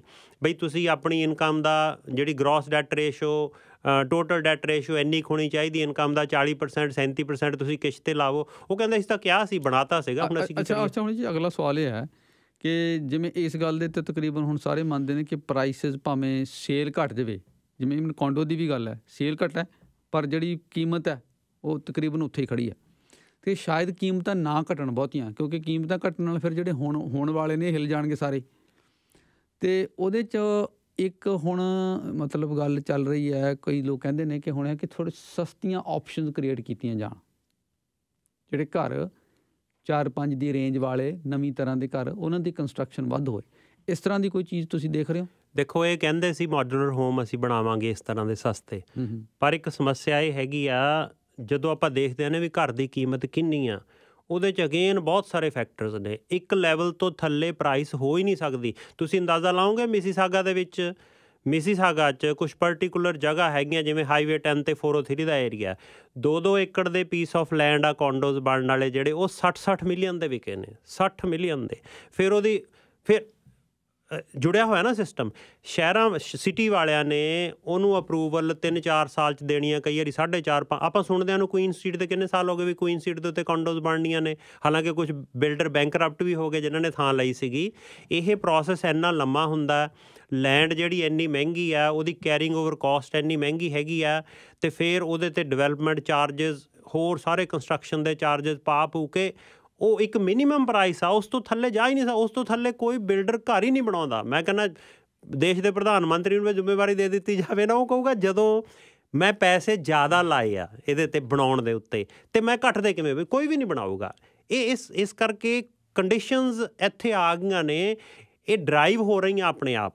ਇਸ ਕਰਕੇ ਉਸ ਤੋਂ ਥੱਲੇ ਨਹੀਂ ਜਾ ਸਕਦੇ। ਇਸ ਤੋਂ ਅਗਲੀ ਗੱਲ ਕੁਝ ਸਾਲਾਂ ਬਾਅਦ ਜਾ ਕੇ ਜਦੋਂ ਇਹ 4-5 ਸਾਲ ਇਸ ਤਰ੍ਹਾਂ ਸਿਸਟਮ ਚੱਲਦਾ ਰਹਿੰਦਾ ਪ੍ਰੋਜੈਕਟ ਅਪਰੂਵਲ ਪ੍ਰੋਸੈਸ ਆ ਪਲੈਨਰਸ ਦੇ ਹੱਥ ਦੇ ਵਿੱਚ ਆ ਸਿਟੀ ਆਫੀਸ਼ੀਅਲ ਦੇ ਹੱਥ ਦੇ ਵਿੱਚ, ਜਦੋਂ ਨੂੰ ਅਪਰੂਵ ਹੋਣਾ, ਉਦੋਂ ਨੂੰ ਪੈਸੇ ਦੀ ਡੀਵੈਲਿਊਸ਼ਨ ਹੋ ਜਾਂਦੀ ਹੈ ਜਿਹੜੀ ਚੀਜ਼ ਤੁਹਾਡੀ ਅੱਜ 2 ਲੱਖ ਦੀ ਸੀਗੀ, ਉਹ 4 ਲੱਖ ਦੀ ਹੋ ਗਈ। ਪੈਸਾ ਤੁਹਾਡਾ ਉੱਥੇ ਹੀ ਖੜਾ। ਇਸ ਕਰਕੇ ਮਤਲਬ ਜਿੰਨਾ ਮਰਜ਼ੀ ਰੌਲਾ ਰੱਪਾ ਪਾਈ, ਪਈ ਜਾਵੇ, ਮੈਂ, ਮੇਰਾ ਮੰਨਣਾ, ਹੋ ਸਕਦਾ ਮੈਂ ਗਲਤ ਹੋਵਾਂ, ਉਸ ਤੋਂ ਥੱਲੇ ਪ੍ਰਾਈਸ ਉਹਦੀ ਨਹੀਂ ਹੋ ਸਕਦੀ। ਹਾਂ ਪ੍ਰਾਈਸ ਥੱਲੇ ਕਦੋਂ ਹੋਊਗੀ? ਜਦੋਂ ਅਨਨੈਸੈਸਰੀ ਕੋਈ 14 ਲੱਖ ਦੀ ਚੀਜ਼ ਆ, ਜੇ ਉਹਨੇ 18 ਲੱਖ ਦੀ ਵੇਚਤੀ, ਉਹਨੇ 4 ਲੱਖ ਪ੍ਰੋਫਿਟ ਕਮਾ ਲਿਆ ਨਾ, ਉਹ 16 ਲੱਖ ਤੇ ਆਜੂ ਫਿਰ ਵੀ ਸਟੇਲ ਉਹਦਾ 2 ਲੱਖ ਉਹ 15 ਤੇ ਆਜੂ 1 ਲੱਖ ਪ੍ਰੋਫਿਟ ਹੋ ਪਰ ਜੇ ਕੋਈ ਕਹੇ 14 ਲੱਖ ਦੀ ਚੀਜ਼ 13 ਲੱਖ ਦੀ ਹੋ ਜੂ ਨਹੀਂ ਹੋ ਸਕਦੀ।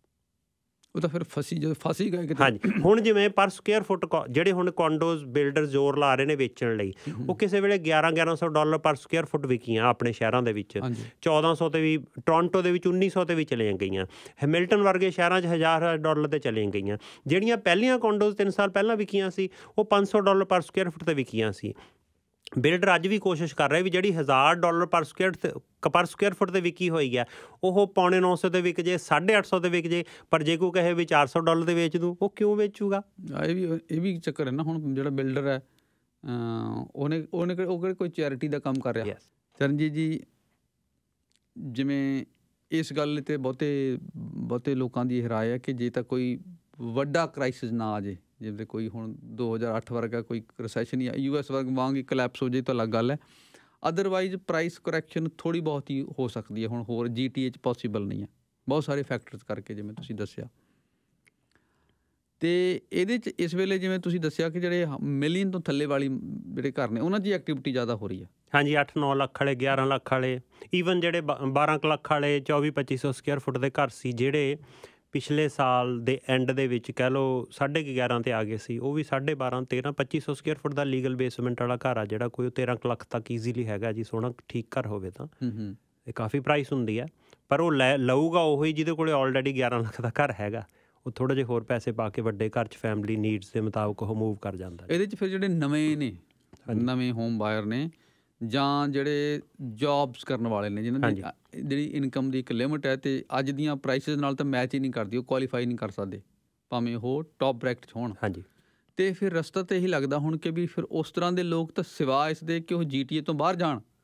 ਉਹਨਾਂ ਲਈ ਤਾਂ ਇੱਥੇ ਕੋਈ ਰਸਤਾ ਨਹੀਂ ਹੈ ਜੀਟੀਏ ਤੋਂ ਬਾਹਰ ਜਾ ਕੇ ਉਹਨਾਂ ਨੂੰ ਕੰਮ ਨਹੀਂ ਮਿਲਦਾ। ਸ਼ਮੀਲ ਜੀ ਲੱਗੂ ਤੁਹਾਨੂੰ ਇਹ ਵੀ ਮੈਂ ਡਾਈਵਰਟ ਕਰ ਰਿਹਾ ਇਹ ਜਿਹੜੀ ਜਿਹੜੀ ਜਿਹੜੀ ਡਿਸਕਸ਼ਨ ਆ ਪਰ ਮੈਂ ਇੱਕ ਸਚਾਈ ਦੱਸਣੀ ਚਾਹੁੰਦਾ ਜਿਹੜੀ ਸਾਡੀ ਸੁਸਾਇਟੀ ਨੂੰ ਸਮਝਣੀ ਚਾਹੀਦੀ ਹੈ ਲੋਕ ਇੱਥੇ ਕੈਨੇਡਾ ਆ ਕੇ ਸੋਚਦੇ ਨੇ ਕਿ ਕਿ ਸਾਨੂੰ ਜੀ ਘਰ ਆ ਜਿਹੜਾ 2 2.5 ਸਾਲਾਂ 'ਚ ਮਿਲ ਜੇ। ਹਾਂਜੀ? ਲੈਣਾ ਮਿਲਣਾ ਚਾਹੀਦਾ। ਦੇਖੋ ਜਿਹੜਾ ਬੰਦਾ ਕੰਮ ਕਰਦਾ ਸਾਰਿਆਂ ਨੂੰ ਜਿਹੜੀ ਜ਼ਿੰਦਗੀ ਜਿਉਣ- ਦੀਆਂ ਬੇਸਿਕ ਜਿਹੜੀਆਂ ਫੈਸਿਲਿਟੀਆਂ ਨੇ ਕੁੱਲੀ ਗੁੱਲੀ ਜੁੱਲੀ ਦੀਆਂ ਲੋੜਾਂ ਪੂਰੀਆਂ ਹੋਣੀਆਂ ਚਾਹੀਦੀਆਂ ਆਪਾਂ ਕਹਿੰਦੇ ਆ ਆਪਣੀ ਇੱਛਾ ਇਸੇ ਕਰਕੇ ਆਪਾਂ ਮਿਹਨਤ ਕਰਦੇ ਆ ਨਾ। ਪਰ ਸਚਾਈ ਇਸ ਤੋਂ ਉਲਟਾ ਤੁਸੀਂ ਦੁਨੀਆ ਦੇ ਕਿਸੇ ਵੀ ਹਿੱਸੇ ਚਲੇ ਜਾਓ। ਆਪਾਂ ਆਪਾਂ ਪੰਜਾਬੀ ਆ ਨਾ ਪੰਜਾਬ ਦੀ ਗੱਲ ਕਰਦੇ ਆ ਜਿਹੜਾ ਬੰਦਾ ਸ਼ਹਿਰ ਦੇ ਵਿੱਚ ਜੌਬ ਕਰਦਾ ਸੀ ਹਾਲਾਂਕਿ ਗਵਰਨਮੈਂਟ ਜੌਬ ਗਵਰਨਮੈਂਟ ਦੀਆਂ ਤਨਖਾਹਾਂ ਬਹੁਤ ਨੇ। ਹੈ। ਨਾ ਲੱਖ ਲੱਖ ਡਾਲਰ ਤਨਖਾਹ ਹੈਗੀ ਮੁਲਾਜ਼ਮ ਦੀ। ਦੋਨੇ ਮੀਆਂ ਬੀਵੀ ਜੇ ਲੱਖ ਲੱਖ ਡਾਲਰ ਤਨਖਾਹ ਲੈਂਦੇ ਨੇ ਉਹ ਵੀ ਸਾਰੀ ਉਮਰ ਦੇ ਵਿੱਚ ਘਰ ਹੀ ਬਣਾਉਂਦੇ ਨੇ। ਉਹ ਵੀ ਜੇ 25 27 ਸਾਲ ਦੀ ਉਮਰ ਦੇ ਵਿੱਚ ਜੌਬ ਕਰਨ ਲੱਗਣ ਤੇ 45 ਸਾਲ ਦੀ ਉਮਰ ਤੱਕ ਘਰ ਨਹੀਂ ਬਣਦਾ। ਇਸ ਕਰਕੇ ਇਹ ਇੱਕ ਸਚਾਈ ਹੈ ਵੀ ਕੰਮ ਕਰਨ ਵਾਲੇ ਲੋਕ ਨਹੀਂ ਇਹ ਗੱਲ ਤੁਹਾਡੀ ਠੀਕ ਹੈ ਪਰ ਇਹ ਅਧੂਰੀ ਸੱਚ ਹੈ। ਹਾਂ ਇਹ- ਅਧੂਰੀ ਇਸ ਕਰਕੇ ਸੱਚ ਹੈ ਕਿ ਪਹਿਲਾਂ ਇੱਥੇ ਇਸ ਤਰ੍ਹਾਂ ਨਹੀਂ ਸੀ। ਹਾਂ ਉਹ ਠੀਕ ਹੈ ਗੱਲ ਇਹ ਬਿਲਕੁਲ। ਚੇਂਜ ਇਹ ਚੇਂਜ ਕੁਝ ਹੱਦ ਤੱਕ ਸਾਡੀ ਬਦੌਲਤ ਪਿਛਲੇ 5-7 ਸਾਲਾਂ ਚ ਆਈ ਹੈ ਚ ਸਾਡੇ ਭਾਈਚਾਰੇ ਦਾ ਵੀ ਅੱਛਾ ਖਾਸਾ ਯੋਗਦਾਨ ਹੈ। ਅਸੀਂ ਇਹ ਮੰਨਦੇ ਨਹੀਂ ਪਰ ਅਸੀਂ ਇਹ ਮਾਰਕੀਟ ਖਰਾਬ ਕੀਤੀ ਹੈ। ਇਹ ਇਹ ਬਿਲਕੁਲ ਠੀਕ ਹੈ ਪਰ ਇਸ ਤੋਂ ਵੀ ਵੱਧ ਜਿਹੜਾ ਵੱਡਾ ਰੋਲ ਆ ਜਿਹੜੇ ਵੱਡੇ ਵੱਡੇ ਮਗਰਮੱਛ ਬੈਠੇ ਨੇ ਉਹਨਾਂ ਦੀ ਜਿਹੜੀ ਗਰੀਡ ਆ ਦੇਖੋ ਉਹਨਾਂ ਦੀ ਗਰੀਡ ਇੰਨੀ ਜ਼ਿਆਦਾ ਹੈ ਜਦੋਂ ਚੀਜ਼ਾਂ ਮਹਿੰਗੀਆਂ ਹੋਣੀਆਂ ਹੁੰਦੀਆਂ ਉਹ ਕਹਿੰਦੇ ਜੀ ਲੇਬਰ ਕਾਸਟ ਵੱਧ ਗਈ ਜਦੋਂ ਕਿ ਤੁਸੀਂ ਸਾਰਾ ਡਾਟਾ ਕੱਢ ਕੇ ਵੇਖੋਗੇ ਲੇਬਰ ਕਾਸਟ ਉਨੀ ਨਹੀਂ ਵਧੀ ਹੁੰਦੀ ਉਹਨਾਂ ਦੀ ਗਰੀਡ ਉਨੀ ਵਧੀ ਹੁੰਦੀ ਹੈ। ਮਤਲਬ ਉਹਨਾਂ ਦਾ ਵੱਡਾ ਰੋਲ ਆ ਬਾਕੀ ਬਾਕੀ ਦੇਖੋ ਘਰ ਆ ਨਾ ਬੰਦੇ ਨੂੰ ਸੈਟੀਸਫੈਕਸ਼ਨ ਨਹੀਂ ਕਰ ਬੈਣਾ ਮੈਂ ਕਹਿੰਦਾ ਔਖਾ ਹੋ ਕੇ ਵੀ ਘਰ ਲੈ ਲੂ ਹੁਣ ਇਸ ਕਰਕੇ ਆਪਾਂ ਨੂੰ ਲੱਗਦਾ ਹੁਣ ਬਹੁਤੇ ਔਖਾ ਹੋਣਾ ਪੈਂਦਾ। ਇਹ ਤਾਂ ਇੱਕ ਹੈਗੀ ਸਚਾਈ, ਜਿਹੜੀ ਕਿ ਲੋਕਾਂ ਨੂੰ ਆਪਾਂ ਡਿਸਕਸ਼ਨ ਹੀ ਕੁਝ ਨਹੀਂ ਕਰ ਸਕਦੇ। ਇਹ ਲੋਕ ਜਦੋਂ ਸੋਚਣਗੇ, ਲੋਕ ਫਿਰ ਸਰਕਾਰਾਂ ਵੱਲ ਦੇਖਣਗੇ। ਲੋਕ ਆਪਣੇ ਰਾਈਟਸ ਲਈ ਜਾਂ ਜਿੰਨਾ ਕੁ ਕੰਮ ਕਰਦੇ ਆ ਜਿੰਨੀ ਕੁ ਉਹਨਾਂ ਨੂੰ ਵਾਜਬ ਵੇਜਸ ਚਾਹੀਦੀਆਂ, ਲੋਕ ਲੜਨਗੇ। ਪਰ ਇਹ ਡਿਸਕਸ਼ਨ ਦਾ ਮੁੱਦਾ ਹੈਗੀ ਆ ਇਹ ਗੱਲ ਕਿ ਇਹ ਇਹ ਇਹ ਲੋੜਾਂ ਐਂ ਪੂਰੀਆਂ ਨਹੀਂ ਹੁੰਦੀਆਂ। ਘਰ ਛੇਤੀ ਛੇਤੀ ਨਹੀਂ ਮਿਲਦੇ। ਸਾਰੀ ਦੁਨੀਆ ਦੀ ਇੱਕ ਸੱਚਾਈ ਹੈ। ਕਿਉਂਕਿ ਸਾਰੀ ਦੁਨੀਆ 'ਚ ਪਿਛਲੇ 10-15 ਸਾਲਾਂ 'ਚ ਸ਼ਿਫਟ ਆ ਗਈ ਆ। ਬੁਨਿਆਦੀ ਲੋੜ ਘਰ ਦੀ ਘੱਟੋ ਘੱਟ ਜੇ ਪੂਰੀ ਹੁੰਦੀ ਸੀ ਤਾਂ ਉਹ ਵੀ ਪੂਰੀ ਹੁਣ ਹਟ ਗਈ। ਜਿੰਨਾ ਕਿ ਸਾਨੂੰ 8 ਘੰਟੇ 'ਚ ਮਿਲਦਾ ਸੀ, ਉਹ 12 ਘੰਟੇ 'ਚ ਵੀ ਨਹੀਂ ਉਹਨਾਂ ਮਿਲਦਾ। ਔਰ ਵੈਸੇ ਜਿਹੜਾ ਇਉਂ- ਉਂਝ ਜਿਹੜਾ ਰੀਅਲ ਸਟੇਟ ਸੈਕਟਰ ਹੈ, ਉਹਦੇ ਵੀ ਇੰਟਰਸਟ ਵਿੱਚ ਇਹ ਹੈ ਕਿ ਜਿਹੜੀਆਂ ਘਰਾਂ ਦੀਆਂ ਆਪਸ਼ਨਸ ਨੇ ਜਾਂ ਘਰਾਂ ਦੀ ਪ੍ਰਾਈਸ ਹੈ, ਉਹ ਉਨੀ ਕੁ ਰੇਂਜ 'ਚ ਰਹੇ, ਜਿਸ ਰੇਂਜ ਦੇ ਵਿੱਚ ਐਵਰੇਜ ਬੰਦੇ ਦੀ ਇਨਕਮ ਹੈ। ਜੇ ਜ਼ਿਆਦਾ ਬਾਇਰ ਹੋਣਗੇ ਰੀਅਲ ਸਟੇਟ ਲਈ ਦੇ ਵੀ ਫਾਇਦੇ ਚ ਇਹ ਚੀਜ਼। ਬਿਲਕੁਲ ਜੀ ਉਹ ਤਾਂ ਜੇ ਪ੍ਰਾਈਸਸ ਰੀਜ਼ਨੇਬਲ ਹੋਣ ਪ੍ਰਾਈਸਸ ਉਨੀਆਂ ਕੁ ਹੋਣ ਜਿੰਨੀ ਇੱਕ ਐਵਰੇਜ ਕਿਉਂਕਿ ਹੁਣ- ਜੋ ਚੇਂਜ ਜੋ ਮਹਿਸੂਸ ਹੋ ਰਹੀ ਹੈ ਪਿਛਲੇ ਹ 4-5 ਸਾਲਾਂ ਚ ਇਹਦੇ ਬਾਰੇ ਕੋਈ ਜ਼ਿਆਦਾ ਲੋਕ ਗੱਲ ਨਹੀਂ ਕਰਦੇ। ਜਿਹੜੀ ਤਨਖਾਹਾਂ ਦੀ ਜਿਹੜੀ ਪੈਸੇ ਜਿਵੇਂ ਡੀਵੈਲਿਊਏਸ਼ਨ ਦੀ ਤੁਸੀਂ ਗੱਲ ਕੀਤੀ ਹੈ ਉਹਦੇ ਨਾਲ ਇਹ ਹੈ ਕਿ ਲੋਕਾਂ ਦੀ ਇਸ ਵੇਲੇ ਜਿਹੜੀਆਂ ਤਨਖਾਹਾਂ ਨੇ ਜਿਹੜੀਆਂ ਜਿਹੜਾ ਜੌਬ ਕਰਨ ਵਾਲੇ ਬੰਦੇ ਨੇ ਜਾਂ ਜਿਹੜੀ ਦੀ ਉਸ ਉਸ ਰੇਂਜ 'ਚ ਇਨਕਮ ਹੈ ਉਹ ਲੋਕ ਹਾਊਸਿੰਗ ਚੋਂ ਬਾਹਰ ਕਰ ਦਿੱਤੇ ਗਏ ਨੇ ਇਸ ਤਰ੍ਹਾਂ ਨਹੀਂ ਸੀ ਪਹਿਲਾਂ? 10 ਸਾਲ 5 5 ਸਾਲ ਤੋਂ ਪਹਿਲਾਂ ਇਸ ਤਰ੍ਹਾਂ ਨਹੀਂ ਸੀ? ਕਿਉਂਕਿ 5 ਸਾਲ 5 7 10 ਸਾਲ ਪਹਿਲਾਂ ਜਿਹੜਾ ਰੀਅਲ ਏਸਟੇਟ ਇੰਡਸਟਰੀ ਸੀ ਇਹਦੇ ਵੱਲਨੀ ਇਹਦੇ ਵੱਲਨੀ ਧਿਆਨ ਨਹੀਂ ਸੀ ਉਹਨਾਂ ਦਾ ਵੀ ਇਹਦੇ ਚੋਂ ਵੀ ਇੰਨਾ ਪ੍ਰੋਫਿਟ ਹੋ ਸਕਦਾ। ਜਿਹੜਾ ਬੰਦਾ ਗਰੀਡ ਓਰੀਐਂਟਡ ਆ ਸਿਸਟਮ ਆ ਜਿਹੜਾ ਗਰੀਡ ਦੇ ਉੱਤੇ ਖੜਾ ਜਿਹੜੇ ਵੀ ਸੈਕਟਰ ਵੱਲ ਉਹਦਾ ਧਿਆਨ ਆ ਜੇ ਉਹਦਾ 20 ਸਾਲ ਪਹਿਲਾਂ ਹੈਲਥ ਨਹੀਂ 25 ਸਾਲ ਪਹਿਲਾਂ ਧਿਆਨ ਨਹੀਂ ਸੀ। ਉਹਦਾ ਹੈਲਥ ਨਹੀਂ ਧਿਆਨ ਨਹੀਂ ਸੀ। ਹੁਣ ਫਾਰਮਾਸਿਊਟੀਕਲ ਇੰਡਸਟਰੀਜ਼ ਹੈਲਥ ਇੰਨਾ ਕੁਝ ਮਤਲਬ ਜੇ ਕੋਈ ਕਵੇ ਵੀ ਇਹ ਹੈਲਥ ਕੇਅਰ ਸਿਸਟਮ ਆ ਇਹ ਤਾਂ ਸਿੱਕ ਕੇਅਰ ਸਿਸਟਮ ਬੰਦੇ ਨੂੰ ਪਹਿਲਾਂ ਬਿਮਾਰ ਬਣਾਇਆ ਜਾਂਦਾ। ਫਿਰ ਉਹਦੇ ਤੋਂ ਪੈਸੇ ਕਰਾਏ ਜਾਂ ਇਹ ਸਾਰੇ ਪਾਸੇ ਹੀ ਹੋ ਰਿਹਾ ਜੀ ਕੱਲਾ ਹਾਊਸਿੰਗ ਵਾਲੇ ਪਾਸੇ ਨਹੀਂ। ਜਿੱਧਰ ਜਿੱਧਰ ਵੀ ਉਹਨਾਂ ਨੂੰ ਲੱਗਦਾ ਵੀ ਸਾਨੂੰ ਇੱਥੋਂ ਪੈਸੇ ਮਿਲ ਸਕਦੇ ਨੇ ਇੱਕ ਤਾਂ ਹੁੰਦਾ ਨਾ ਵਾਜਬ ਪੈਸੇ। ਦੇਖੋ ਬਿਜ਼ਨਸ ਐਥਿਕਸ ਹੁੰਦੇ ਨੇ। ਬਿਜ਼ਨਸ ਦੇ ਵਿੱਚ ਤੁਸੀਂ ਐਥਿਕਸ ਦੇ ਨਾਲ ਪੈਸੇ ਬਣਾਓ, ਜਿੰਨੇ ਮਰਜ਼ੀ ਬਣਾਓ। ਅਨਐਥੀਕਲੀ ਪੈਸਾ ਨਹੀਂ। ਹੁਣ ਪ੍ਰੋਬਲਮ ਇਹ ਆ ਵੀ ਅਨਐਥੀਕਲ ਪ੍ਰੈਕਟਿਸਸ ਨੂੰ ਕਾਨੂੰਨ ਨੇ ਨਾਂ ਦਿੱਤਾ। ਐਥੀਕਲ ਵੀ ਸਾਡਾ ਬਿਜ਼ਨਸ ਆ ਤਾਂ। ਹੁਣ ਗਰੀਡ ਆ। ਹੁਣ ਮੈਂ ਮੈਂ ਪਹਿਲਾਂ ਗੱਲ ਕਰਕੇ ਹਟਿਆ। ਠੀਕ ਆ, ਉਹਦੇ ਵਿੱਚ ਉਹਨਾਂ ਲੋਕਾਂ ਦਾ ਹੱਥ ਆ, ਜਿਹੜੇ ਲਾਈਨਾਂ ਲਾ ਕੇ ਮਤਲਬ ਕਰ ਲੈਂਦੇ ਨੇ। ਵੀ ਜੇ ਮੈਂ ਜਿਵੇਂ ਗੱਲ ਕੀਤੀ ਆ ਵੀ 14 ਲੱਖ ਦਾ ਘਰ, ਉਹ 16 ਲੱਖ ਦਾ ਵਿਕਣਾ 18 18 ਦਾ ਲੈਂਦੇ ਨੇ। ਇਹ ਗਰੀਡ ਆ। ਪਰ ਸਟਿਲ ਸਟਿਲ ਜਿਹੜੇ ਮਤਲਬ ਕਾਫੀ ਕੁਝ ਗਰੀਡ ਹੈਗੀ ਆ ਜੀ ਇਹਦੇ ਵਿੱਚ। ਇਹ ਗਰੀਡ ਕਿਵੇਂ ਕੰਟਰੋਲ ਹੋਊ ਕਿਵੇਂ ਨਹੀਂ ਹੋ ਮੈਨੂੰ ਨਹੀਂ ਪਤਾ ਇਸ ਗੱਲ ਦਾ। ਪਰ ਇਹ ਮੈਨੂੰ ਇੰਨਾ ਪਤਾ ਵੀ ਘਰਾਂ ਦੀਆਂ ਪ੍ਰਾਈਸਸ ਆ ਜਿਹੜੀਆਂ ਜਿਹੜੇ ਸੈਕਟਰ 'ਚ ਆ ਮੈਂ। ਇਹ ਇਹ ਇਹ ਆਲਰੇਡੀ ਹੁਣ ਤੁਸੀਂ ਅਲੱਗ-ਅਲੱਗ ਜਿਹੜੇ ਫਾਈਨੈਂਸ਼ੀਅਲ ਇੰਸਟੀਟਿਊਸ਼ਨਸ ਨੇ ਉਹਨਾਂ ਦੇ ਫੋਰਕਾਸਟ ਦੇਖਣ ਲੱਗ ਜਾਓ। ਉਹ ਕਹਿਣਗੇ ਜੀ 26 ਤੱਕ ਇੰਨੇ ਪਰਸੈਂਟ ਵੱਧ ਜੂ ਆ 24 ਦੇ ਐਂਡ ਤੱਕ ਜਾਂਦੇ ਜਾਂਦੇ ਹੀ 4-5% ਰੀਅਲ ਸਟੇਟ ਮਾਰਕੀਟ ਵੱਧ ਜਾਣੀ ਆ। ਆਪ- ਹਾਲਾਂਕਿ ਡਾਟਾ ਦੂਜਾ ਡਿਸਕਸ ਕਰ ਰਹੇ ਹਾਂ ਲੋਕਾਂ 'ਚ ਕਪੈਸਿਟੀ ਨਹੀਂ ਆ ਨਹੀਂ ਆ ਨਹੀਂ ਪਰ ਇਸ ਦੇ ਬਾਵਜੂਦ ਵੀ ਘਰ ਆ ਜਿਹੜੇ ਵਧਣਗੇ। ਜਾਂ ਕਿਉਂਕਿ ਹੋ ਕੀ ਗਿਆ ਕਿ ਇੱਕ ਸੈਕਸ਼ਨ ਇਹੋ ਜਿਹਾ ਜਿਹਦੇ ਕੋਲ ਪੈਸੇ ਦੇ ਸੋਰਸਸ ਡਿਫਰੈਂਟ ਨੇ ਜਿਹੜੇ ਉਹ ਐਵਰੇਜ ਕੈਨੇਡੀਅਨ ਨਾਲੋਂ ਡਿਫਰੈਂਟ ਨੇ। ਬਿਲਕੁਲ। ਉਹ ਲੋਕ ਫਿਰ ਮਾਰਕੀਟ ਨੂੰ ਡਰਾਈਵ ਕਰੀ ਜਾਂਦੇ ਇਸੇ ਕਰਕੇ ਤਾਂ ਰੈਗੂਲੇਸ਼ਨ ਦੀ ਜ਼ਰੂਰਤ ਹੁੰਦੀ ਇਸੇ ਕਰਕੇ ਤੇ ਗਵਰਨਮੈਂਟ ਦੀ ਇੰਟਰਵੈਂਸ਼ਨ ਦੀ ਜ਼ਰੂਰਤ ਹੁੰਦੀ ਹੈ। ਬਿਲਕੁਲ ਬਿਲਕੁਲ ਕਿ ਬਿਲਕੁਲ। ਜਿਹੜੇ ਗਲਤ ਪੈਸੇ ਦੇ ਸੋਰਸ ਵਾਲੇ ਸੋਰਸ ਵਾਲੇ ਲੋਕ ਨੇ ਉਹ ਕਿਸੇ ਵੀ ਮਾਰਕੀਟ ਨੂੰ ਖਰਾਬ ਨਾ ਕਰਨ ਬਿਲਕੁਲ। 69% ਹੋਮ ਓਨਰਸ਼ਿਪ ਸੀ ਜੀ 7-8 ਸਾਲ ਪਹਿਲਾਂ ਉਹ ਘਟ ਕੇ 66% ਰਹਿ ਗਈ 66% ਤੇ ਹੁਣ ਆਪਾਂ ਦੇਖ ਰਹੇ ਹਾਂ ਵੀ ਜਿਨ੍ਹਾਂ ਕੋਲੇ ਦੋ ਘਰ ਸੀ ਆਪਾਂ ਗੱਲ ਕੀਤੀ ਆ 16% ਲੋਕ ਨੇ ਉਹ ਦੋਵਾਂ ਦੇ ਉਹਨਾਂ ਦੇ ਵਿੱਚੋਂ 3-3 4-4 5-5 ਵਾਲੇ ਆ। ਮਤਲਬ ਆਮ ਲੋਕਾਂ ਲਈ ਔਖਾ ਹੋ ਰਿਹਾ ਪਰ ਕੁਝ ਲੋਕਾਂ ਲਈ ਸੌਖਾ ਹੋ ਰਿਹਾ ਕਿਉਂਕਿ ਉਹ ਮਨੀ ਦਾ ਚੈਨਲ ਇਸ ਤਰ੍ਹਾਂ ਬਣਿਆ ਹੋਇਆ ਉਹ ਵੱਧ ਪੈਸੇ ਬਣਾ ਰਹੇ ਨੇ। ਚਰਨਜੀਤ ਜੀ ਜਿਹੜੇ ਮੇਰੇ ਕੋਲ ਮੈਸੇਜ ਆਉਂਦੇ ਨੇ ਨਾ ਹਮੇਸ਼ਾ ਹੀ ਤੇ ਅੱਜ ਵੀ ਮੈਂ ਦੇਖ ਰਿਹਾ ਉਹੀ ਨੇ। ਜ਼ਿਆਦਾਤਰ ਲੋਕਾਂ ਦਾ ਇਹ ਰਿਐਕਸ਼ਨ ਹੁੰਦਾ ਕਿ ਜੀ ਇਹ ਸਾਰਾ ਬੇੜਾ ਗਰਕ ਰਿਐਲਟਰ ਨੇ ਕੀਤਾ। ਹੁਣ ਤੁਸੀਂ ਤਾਂ ਆਪ ਹੁਣ ਰਿਐਲਟਰ ਨੂੰ ਤੁਹਾਡੇ ਸਾਹਮਣੇ ਮੈਂ ਤੁਹਾਨੂੰ ਪੁੱਛ ਲੈਂਦਾ ਸਵਾਲ। ਇਹ ਜੀ ਲੋਕਾਂ ਦੇ ਜਿਹੜੇ ਸੈਂਟੀਮੈਂਟਸ ਨੇ, ਜਜ਼ਬਾਤ ਨੇ, ਆਪਾਂ ਉਹਨਾਂ ਦੀ ਕਦਰ ਕਰਦੇ ਹਾਂ, ਲੋਕਾਂ ਨੂੰ ਲੱਗਦਾ ਹੈ ਹੈਨਾ, ਇਸ ਤਰ੍ਹਾਂ ਲੱਗਦਾ ਤੇ ਉਹ ਕੀ ਹੁੰਦਾ ਵੀ ਉਹ ਜਨਰਲਾਈਜ਼ ਕਰਨ ਦੇ, ਆਪਣੇ ਨਾਲ ਜ਼ਿੰਦਗੀ ਜਿਹੜੀ ਘਟਨਾ ਵਾਪਰੀ ਹੋਵੇ, ਆਪਾਂ ਐਕਸੀਡੈਂਟ ਹੋ ਜੇ ਇੱਥੇ ਤੇ ਆਪਣੇ 'ਚ ਕੋਈ ਗੱਡੀ ਮਾਰੇ। ਆਪਾਂ ਸਾਰਿਆਂ ਨੂੰ ਕਹਾਂਗੇ ਇਹ ਨਾ ਜੀ ਇਹ ਗੱਡੀਆਂ ਐਸ ਇਲਾਕੇ 'ਚ ਆਈ ਹੁੰਦੀਆਂ। ਮੈਂ ਮੈਂ ਮਤਲਬ ਹੁਣ ਜਿਵੇਂ ਕਹਿੰਦੇ ਆ ਬਈ ਸਟੂਡੈਂਟ ਗੱਡੀਆਂ ਬੜੀਆਂ ਰਫ ਚਲਾਉਂਦੇ ਨੇ ਹੈਨਾ ਕਹਿ ਦਿੰਦੇ ਆ ਨਾ। ਪਰ ਓਵਰਆਲ ਪੰਜਾਬੀ ਆ ਜਿਹੜੇ ਹਨਾ ਉਹ ਜੇ ਇਹ ਕਹਿਣਾ ਹੋਵੇ ਬਾਹਰਲੇ ਉਹ ਕਹਿਣਗੇ ਪੰਜਾਬੀ ਗੱਡੀਆਂ ਰਫ ਚਲਾਉਂਦੇ ਨੇ ਹਨਾ ਮਤਲਬ ਟੈਨੈਂਟਸ ਨੂੰ ਸਾਰੇ ਹੀ ਕਹਿ ਦਿੰਦੇ ਵੀ ਟੈਨੈਂਟਸ ਆ ਜਿਹੜੇ ਜੀ ਇਹ ਐਂ ਕਰਦੇ ਨੇ ਸਾਰੇ ਟੈਨੈਂਟਸ ਨੂੰ ਜਨਰਲਾਈਜ਼ ਕਰਨ। ਇੱਕ ਲੈਂਡਲੋਰਡ ਮਾੜਾ ਹੋਵੇ ਉਹ ਕਹਿੰਦੇ ਜੀ ਬੇਸਮੈਂਟ ਵਾਲੇ ਕਹਿੰਦੇ ਲੈਂਡਲੋਰਡ ਸਾਰੇ ਹੀ ਮਾੜੇ ਨੇ। ਇਹ ਆਪਦੀ ਥਾਂ ਉਹਨਾਂ ਦੇ ਕੋਈ ਬੈਡ ਐਕਸਪੀਰੀਅੰਸਸ ਹੋ ਸਕਦੇ ਨੇ। ਵੈਸੇ ਤਾਂ ਇਹ ਹੈ ਜੀ ਅ, 45000 ਰੀਅਲਟਰ ਆ ਜਿਹੜੇ ਜਾਂ ਇਸ ਕਿੱਤੇ ਨਾਲ ਲੋਕ ਜਿਹੜੇ ਜੁੜੇ ਹੋਏ ਸੀ ਉਹ ਛੱਡ ਗਏ ਨੇ। ਹੋ ਸਕਦਾ ਉਹ 45000 ਜਿਹੜੇ ਛੱਡੇ ਨੇ ਉਹਨਾਂ ਚ ਕੁਝ ਕੁ ਨੇ ਮਤਲਬ ਮਾੜਾ ਮੋਟਾ ਕੋਈ ਗੜਬੜ ਵਗੈਰਾ ਕੀਤੀ ਹੋਵੇ ਹੈਨਾ?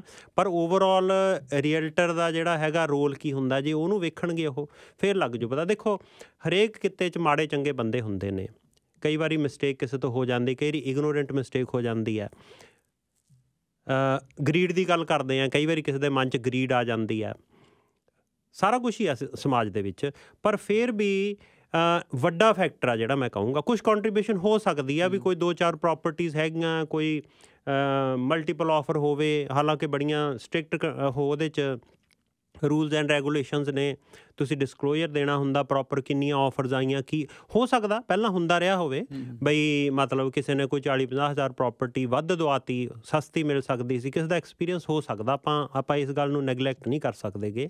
ਪਰ ਫਿਰ ਉਹਦੇ ਲਈ ਰੈਮਡੀਜ਼ ਨੇ ਜੀ ਤੁਸੀਂ ਉਹਦੀ ਸ਼ਿਕਾਇਤ ਕਰਨੀ ਸੀ ਬਹੁਤ ਸਾਰੇ ਏਜੰਟਸ ਆ ਉਹਨਾਂ ਦੇ ਲਾਇਸੈਂਸ ਸਸਪੈਂਡ ਹੁੰਦੇ ਨੇ rico.on.ca ਤੇ ਜਾ ਕੇ ਤੁਸੀਂ ਕੰਪਲੇਂਟ ਕਰ ਸਕਦੇ ਹੋ ਹੈਨਾ ਉਹ ਲੋਕਾਂ ਨੂੰ ਥੋੜਾ ਜਿਹਾ ਤਾਂ ਲੱਗਦਾ ਜੀ ਅ ਕਿ ਰੀਅਲਟਰਸ ਨੇ ਮਾਰਕੀਟ ਖਰਾਬ ਕੀਤੀ ਆ।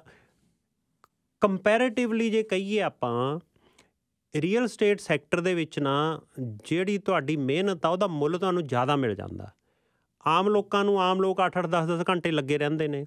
ਉਹਨਾਂ ਨੂੰ ਉਹਨਾਂ ਨੂੰ ਜਿਹੜੀ ਸੈਲਰੀ ਮਿਲਦੀ ਹੈ ਵੇਜਸ ਮਿਲਦੀਆਂ ਉਹਨਾਂ ਨੂੰ ਉਸ ਮੁਤਾਬਕ ਨਹੀਂ ਮਿਲਦੀਆਂ ਕਮਿਸ਼ਨਸ ਦੇ ਮੁਤਾਬਕ। ਉਹਨਾਂ ਨੂੰ ਵੈਸੇ ਹੀ ਲੱਗਦਾ ਵੀ ਏਜੰਟ ਆ ਜਿਹੜਾ ਇਹਨੇ ਪਰਸੋਂ ਟਰੱਕ ਚਲਾਉਂਦਾ ਸੀ ਤੇ ਅੱਜ ਟਾਈ ਲਾਈ ਬੈਠਾ ਇਹਨੇ ਦੋ ਘਰ ਵੇਚਤੇ 40-50 ਹਜ਼ਾਰ ਬਣ ਗਿਆ ਸਾਲ ਦੇ ਵਿੱਚ 1.5-2 ਲੱਖ ਬਣਾ ਲਓ। ਹਾਲਾਂਕਿ ਕਮਿਸ਼ਨਸ ਤਾਂ ਬਹੁਤ ਜ਼ਿਆਦਾ ਨੇ। ਜੇ ਮੈਂ ਉਦਾਹਰਣ ਦੇਵਾਂ ਇੱਥੇ ਜਿਹੜੇ ਵੱਡੇ ਇੰਡਸਟਰੀਅਲ ਇੰਡਸਟਰੀਅਲ ਸੈਕਟਰ ਦੇ ਵਿੱਚ ਜਿਹੜੇ ਡੀਲਸ ਕਰਦੇ ਨੇ ਨਾ ਇੱਕ ਇੱਕ ਡੀਲ ਦੇ ਵਿੱਚੋਂ 2-2 2.5 ਲੱਖ ਕਮਿਸ਼ਨ ਉਹਨੂੰ ਮਿਲ ਜਾਂਦਾ। ਉਹ ਰੈਜ਼ੀਡੈਂਸ਼ੀਅਲ ਰੀਅਲਟਰਸ ਨੂੰ ਕੁਝ ਨਹੀਂ ਸਮਝਦੇ। ਜਿਹੜੇ ਇੰਡਸਟਰੀਅਲ ਡੀਲਸ ਕਰਨ ਵਾਲੇ ਨੇ ਨਾ ਉਹ ਕਹਿੰਦੇ ਨੇ ਇਹ ਤਾਂ ਐਵੇਂ ਹੀ ਇਹ ਵੀ ਕੋਈ ਕੰਮ ਆ ਘਰ ਵੇਚਣ ਵਾਲਾ।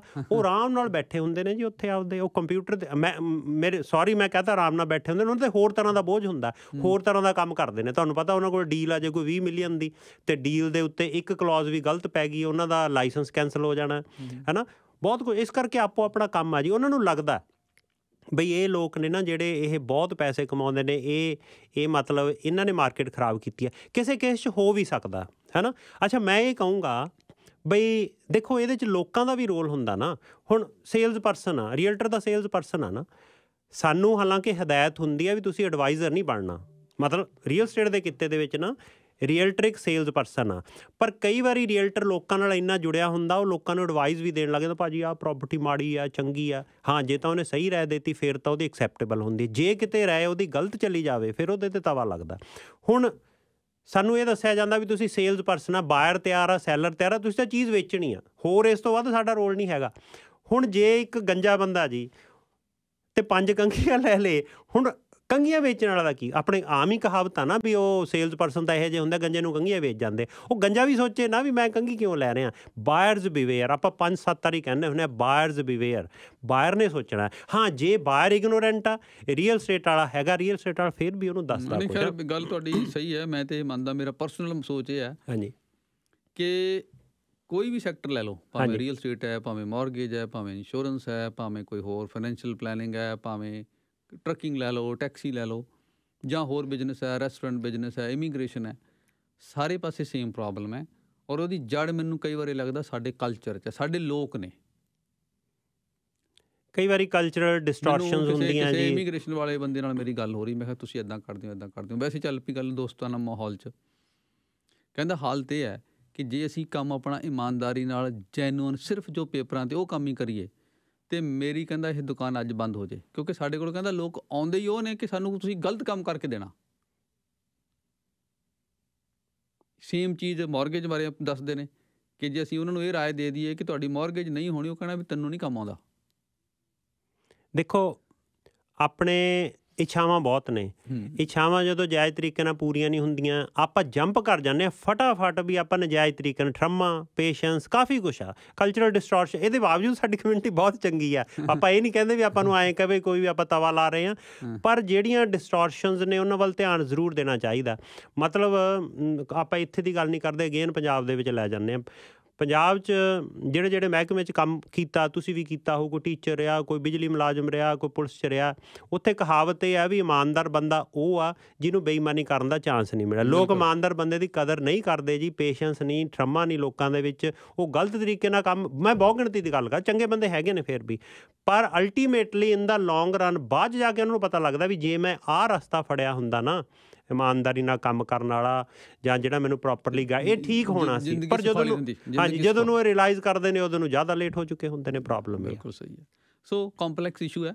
ਤੇ ਹਾਊਸਿੰਗ ਦੇ ਵਿੱਚ ਜਿਹੜੇ ਇਹ ਟ੍ਰੈਂਡਸ ਨੇ ਪਰ ਇਹਨਾਂ ਤੇ ਨਿਗਾਹ ਰੱਖਣੀ ਚਾਹੀਦੀ ਹੈ ਕਿਉਂਕਿ ਸਾਰਿਆਂ ਦਾ ਲਾਈਫ ਦੀਆਂ ਵੱਡੀਆਂ ਇਨਵੈਸਟਮੈਂਟਸ ਇਹਦੇ ਨਾਲ ਜੁੜੀਆਂ ਹੋਈਆਂ ਔਰ ਸਭ ਸਭ ਦਾ ਵੱਡਾ ਜਿਹੜਾ ਲਾਈਫ ਦਾ ਬਿਗੇਸਟ ਡ੍ਰੀਮ ਹੈ ਉਹ ਇਹਦੇ ਨਾਲ ਜੁੜਿਆ ਹੋਇਆ ਜਿਨ੍ਹਾਂ ਨੇ ਨਹੀਂ ਲਏ।